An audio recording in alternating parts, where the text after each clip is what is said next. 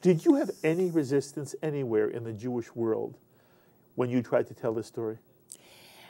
The resistance was don't, it wasn't don't tell it. It was resistance, oh, this is so complicated. It's so difficult. Are you sure you want to do this? I mean, find something nicer to talk about. Find a, you know, and I think that's true. I think it goes to the heart of nobody at the time was talking about Jewish rescue during the Holocaust. Jews who rescued Jews. And everybody had heard about Schindler. I mean, you know, that's who we knew saved Jews.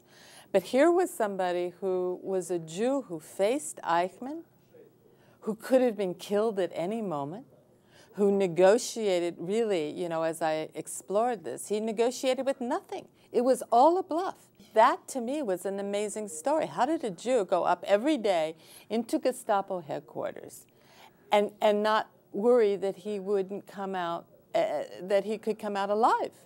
You know, the idea of hero is something that it gets us into trouble because we start to name heroes for some people and then we don't name them for others. And what I'm trying to say is let's take away the word hero.